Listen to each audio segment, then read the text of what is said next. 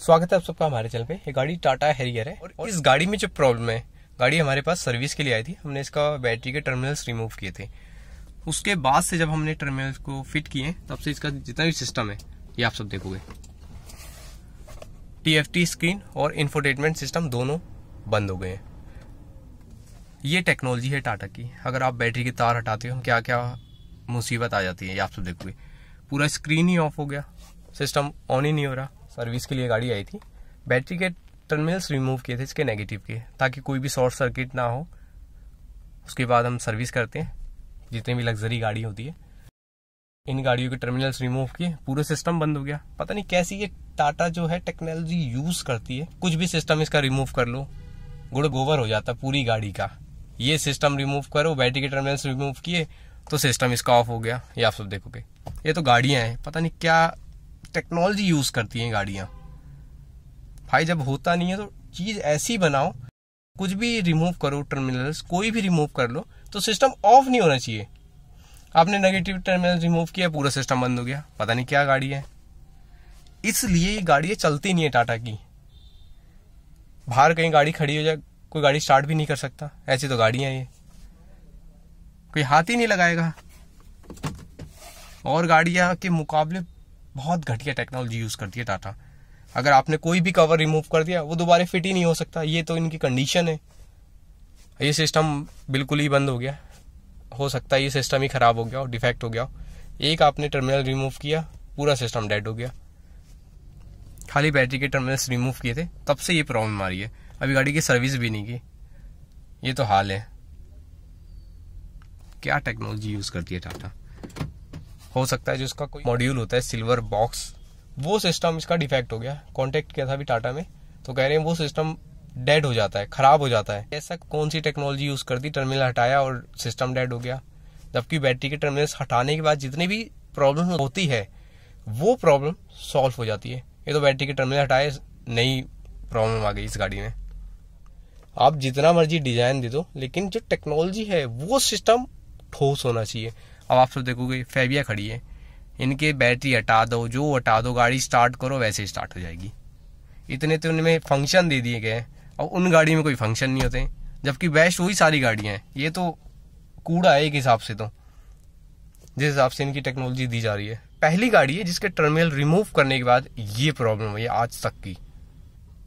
अब वो सिस्टम काफ़ी ज़्यादा कॉस्टली भी है। अठावन हज़ार रुपये का वो पार्ट्स है, जो खाली बैटरी की तार हटाने से उड़ गया। क्या टेक्नोलॉजी यूज़ की इन्होंने। इससे बढ़िया तो चाइनीज़ सिस्टम दे देते कम से कम पूरा चलता तो रहता। कोई भी गाड़ी है उतने ज़्यादा फ़ंक्शन होंगे, इतनी ज़्यादा इसमें प्रॉब्लम आती है। एक नॉर्मल सा मीटर दो। इंडिकेशन दो, जितने यूज़ होने वाले हैं। करते हैं पहले सिस्टम को चेक करते हैं, फिर आपको आगे दिखाते हैं क्या प्रॉब्लम हुई है इसकी। बैटरी टर्मिनल्स रिमूव करने से। फ़र्स्ट गाड़ी है जिसमें ये प्रॉब्लम हुई है हमारे साथ। पहली आज तक की गाड़ी है। नहीं तो जितने भी आप कभी भी बैटरी के टर्मिनल्स रिमूव करोगे, जितने भी वार्निंग इंडिकेशन है, ट्रबल्स कोड्स होते हैं हंड्रेड परसेंट चांस होता है वो रिमूव हो जाए। लेकिन इसके टर्मिनल्स रिमूव किए, ये नई प्रॉब्लम आ गई इस गाड़ी में। पहली ऐसी गाड़ी है। आप सब देखोगे।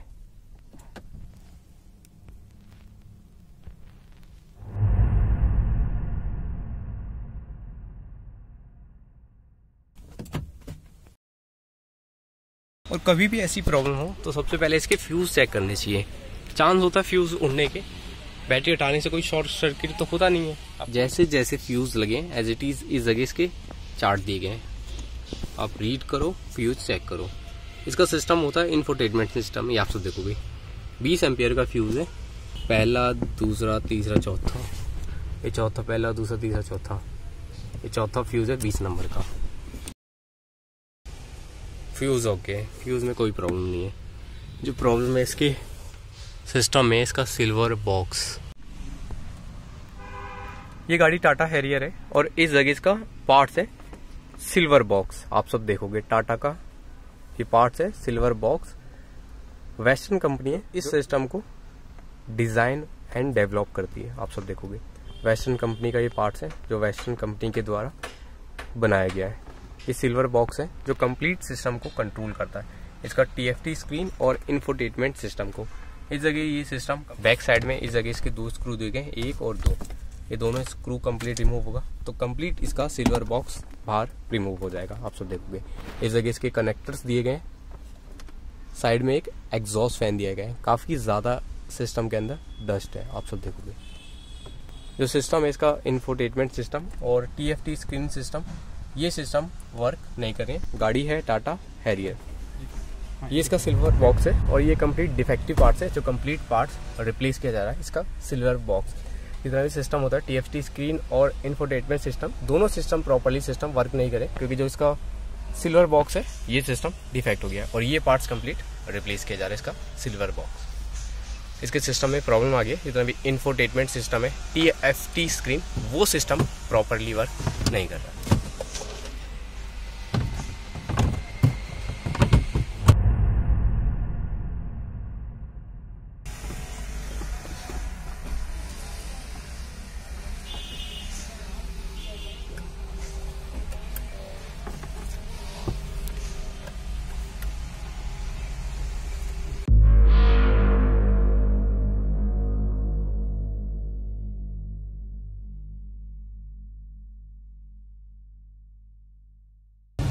कंप्लीट सिल्वर बॉक्स को रिप्लेस करने थे, जितने भी इसकी प्रॉब्लम थी टी स्क्रीन और इन्फोटेनमेंट सिस्टम ये दोनों इसकी प्रॉब्लम थी, वो रिजॉल्व हो गई है। आप सब देखोगे दोनों सिस्टम प्रॉपरली वर्क करें। टी स्क्रीन और इन्फोटेनमेंट सिस्टम दोनों सिस्टम प्रॉपरली वर्क करें। इस जगह इसका जो पार्ट था सिल्वर बॉक्स इस सिस्टम में प्रॉब्लम थी।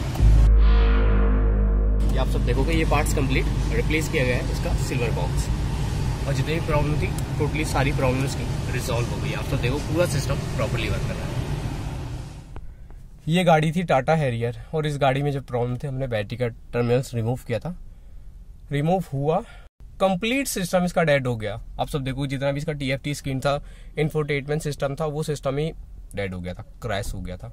अब जितना भी सिस्टम था इसका सिल्वर बॉक्स, वो सिस्टम रिप्लेस करवा के दिया अभी हमने। अठावन हज़ार रुपये का वो पार्ट्स है इसका सिल्वर बॉक्स का।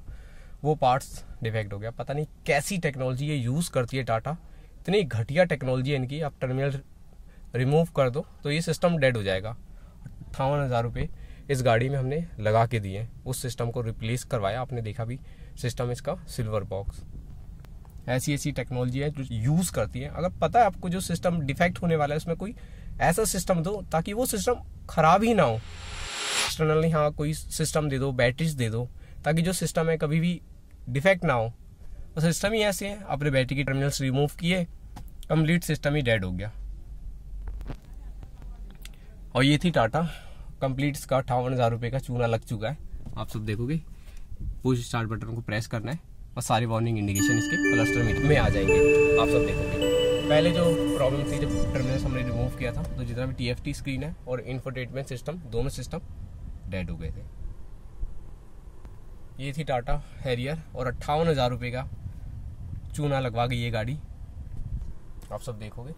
अब वो सिस्टम प्रॉपरली वर्क करें इसके इन्फोटेटमेंट सिस्टम और टीएफटी स्क्रीन दोनों सिस्टम प्रॉपरली वर्क करें और जो प्रॉब्लम हुई है सिल्वर बॉक्स ख़राब हो गया था, वो कंप्लीट अट्ठावन हज़ार रुपये का पार्ट्स रिप्लेस करवा के देना पड़ रहा है हमारी तरफ़ से। क्योंकि गलती हमारे से हुई है टाटा गाड़ी पकड़ी और टर्मिनल्स रिमूव किए। हमने टर्मिनल्स इसलिए रिमूव किए थे ताकि इसमें कोई प्रॉब्लम ना आए।